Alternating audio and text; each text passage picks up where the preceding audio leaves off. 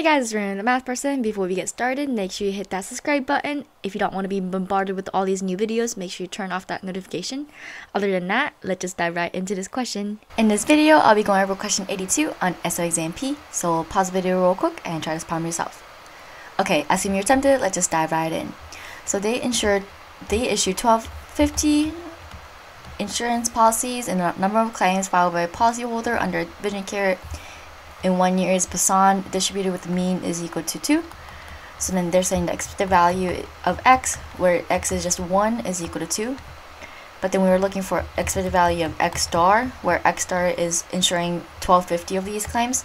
So this is equal to 2 times 1250, which is equal to 2500. And we also know, what we also know about Poisson distribution is that the mean and the variance of x is also the same thing. This is also going to be 2. So then knowing that the variance of x is equal to 2. So then the variance of x star is going to be 2500 as well. And because 1250 is greater than 20, we can actually use the normal approximation. And so in order for us to use normal approximation, we need to use the standard deviation. We need to find the standard deviation. So the standard deviation of x star is equal to the square root of 2500 which is equal to 50. So honestly, we have all the ingredients we need to solve this problem out. So they're saying, what is the probability that there's a total of 2450 and 2600? This is star, by the way.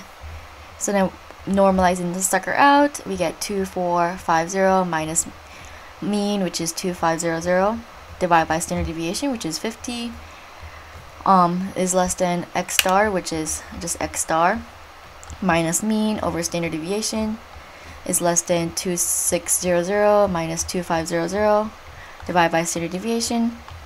This is the definition of z. And on the left hand side you get negative 1 is less than z is less than 2. Okay, so then we're basically looking for from negative 1 to 2. And remember on the exam they're going to give you the positive PDF, positive CDF. So we first look at f of 2. So we first look at what z table value corresponds to 2.0, and that's 0.9772. So that's saying that this part right here is equal to 0.99, 0.9772.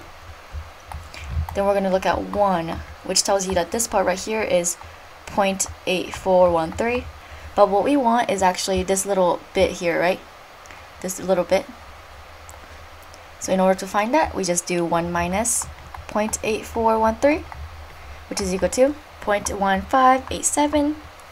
And so now we take the 2, right, this 0.9722, and subtract that little bit, this part right here, which is 0.1587 to get the range that we want, which is this part right here.